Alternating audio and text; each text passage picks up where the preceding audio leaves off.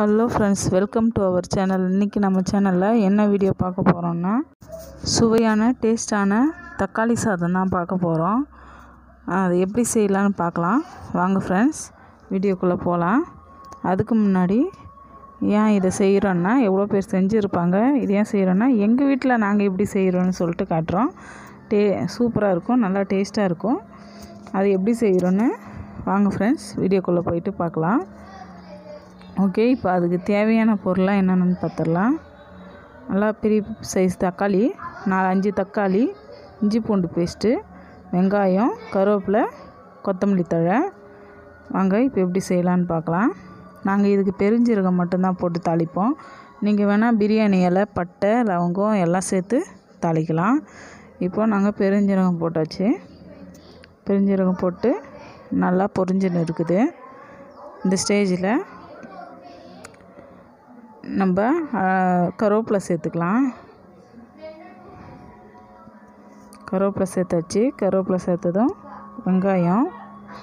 வெங்காயம் சேர்த்துட்டு நல்லா வணக்கிக்கலாம். நல்லா கோல்டன் ப்ரௌன் வர வரைக்கும் நல்லா வணக்கிக்கலாம்.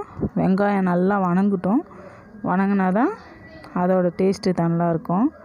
பாருங்கள் வெங்காயம் நல்லா வதங்கிக்கிட்டு இருக்குது.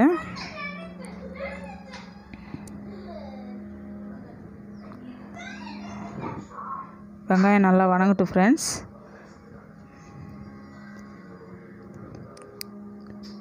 ரொம்ப ஈஸியாக செய்யலாம் இதை. தக்காளி வந்துட்டு அரைக்கணுன்ற எந்த அவசியமும் இல்லை. தக்காளி அரைக்காமல் அப்படியே கட் பண்ணிகிட்டே சேர்த்து செய்யலாம். அங்கே. அடுத்தது கொத்தமல்லி தழை. புதினா இருந்தால் புதினாவும் சேர்த்துக்கலாம். நாங்கள் புதினாவும் சேர்த்துக்கிட்டு இருக்கோம். சொல்ல மறந்துட்டேன். கொத்தமல்லி புதினா ரெண்டும் சேர்த்தாச்சு. அதையும் சேர்த்து ஒரு டூ மினிட்ஸ் வதக்கிக்கலாம். டூ மினிட்ஸ் வேணால் ஒன் மினிட்ஸ் போதும். வதக்கிக்கலாம் நல்லா. அது எவ்வளோக்கு எவ்வளோ வணங்குதோ அவ்வளோக்கு எவ்வளோ அந்த டேஸ்ட்டும் அந்த ஸ்மெல்லும் சூப்பராக இருக்கும். பாருங்கள் வணக்கி வச்சு இப்போ இஞ்சி பூண்டு பேஸ்ட்டு சேர்த்துக்கலாம்.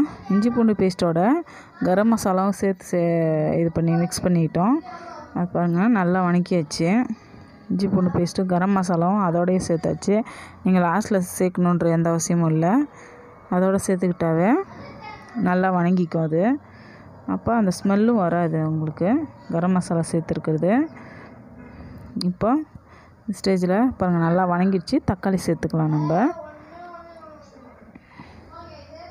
நல்லா பெரிய சைஸ் தக்காளி.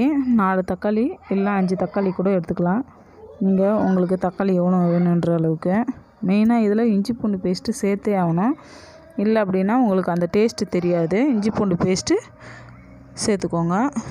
உப்பு சேர்த்துக்கிட்டால் தக்காளி நல்லா குழஞ்சி வரும். அதுக்காக தான் உப்பு தக்காளி போட்டப்போ சேர்த்து வச்சு வச்சு நல்லா குழஞ்சி வரட்டும். பாருங்கள் இந்த ஸ்டேஜில் எந்த அளவுக்கு தக்காளி நல்லா குழஞ்சி வந்திருக்குது பாருங்கள் தக்காளி எவ்வளோக்கு எவ்வளோ ஃபுல்லாக குழஞ்சி அந்த இது வருதோ இந்த ஸ்டேஜுக்கு. அப்போ தான் அது வந்துட்டு அந்த டேஸ்ட்டு கொடுக்கும். தக்காளி முழுசு முழுசாக இருந்தால் நல்லா இருக்காது.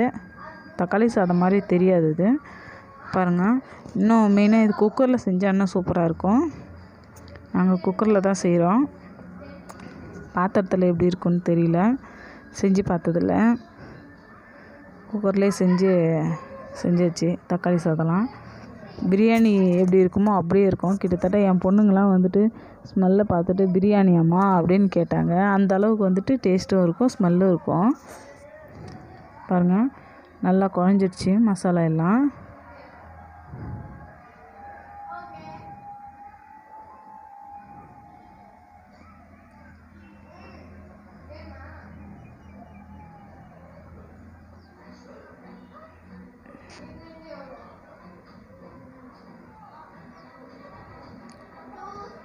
இப்போ மற்ற மசாலா ஐட்டம்லாம் சேர்த்துக்கலாம். மிளகா பொடி தனி மிளகா பொடி தான் போடுறோம். பாருங்கள் தனி மிளகா பொடி இது சாம்பார் பொடி. மாமூல் வீட்டில் யூஸ் பண்ணுற வீட்டில் நாங்களே ரெடி பண்ணி அரைச்ச சாம்பார் பொடி இது. சாம்பார் பொடி போட்டு நல்லா மிக்ஸ் பண்ணுறோம் அந்த சாம்பார் பொடியிலே தனி மிளகா பொடி மட்டும் சேர்க்கக்கூடாது. நம்ம வீட்டில் அரைச்ச சாம்பார் பொடி சேர்த்துக்கிட்டா தான் இன்னும் டேஸ்ட்டு கொடுக்கும். அதனால தான் நாங்கள் ரெண்டுமே சேர்த்துக்குறோம். அது தனி மிளகா பொடி ஒரு டேஸ்ட்டு இது ஒரு டேஸ்ட்டு வரும். அதனால் சொல்லிட்டு ரெண்டுமே சேர்த்துக்கிறோம். இப்போ கொஞ்சமாக மஞ்சள் பொடி சேர்த்துக்கலாம். அரை ஸ்பூன் மஞ்சள் பொடி போதும். தாசி தேவையில்ல. அதையும் சேர்த்துட்டு நல்லா வணக்கிக்கலாம். பாருங்கள் ஃப்ரெண்ட்ஸ் தக்காளி எவ்வளோ குழஞ்சிச்சின்னு இதில் தக்காளி இருக்குதுன்ட்டே சொல்ல முடியாது. அந்தளவுக்கு தக்காளி ஃபுல்லாக வணங்கி குழஞ்சி வந்துருச்சு. ஸ்டேஜில் அரிசி சேர்த்துக்கலாம்.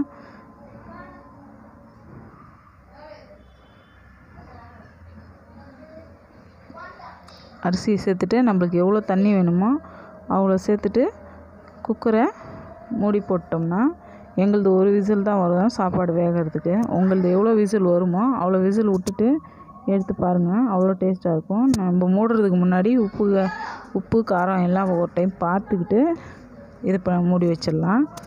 ஓகே ஃப்ரெண்ட்ஸ் அவ்வளோதான். உப்பு கொஞ்சம் கம்மியாக இருந்துச்சு போட்டாச்சு. இப்போது ரெடி ஆயிடுச்சு. இப்போ குக்கரை மூடி போட்டு ஒரு விசில் ஆனதுமே தக்காளி சாதம் ரெடி ஆகிடும் அவ்வளோதான் ஃப்ரெண்ட்ஸ் ஈஸியாக செஞ்சிடலாம். சாயந்தரம் டைமில் வேலைக்கு போயிட்டு வரோமே எப்படி செய்யறதுன்னு பார்க்காம இது இன்ஸ்டண்ட்டாக ரெடி ஆகிடும் ஓகே இப்போ மூடி போட்டு பார்க்கலாம். பாருங்கள் தக்காளி சாதம் ரெடி ஆயிடுச்சு.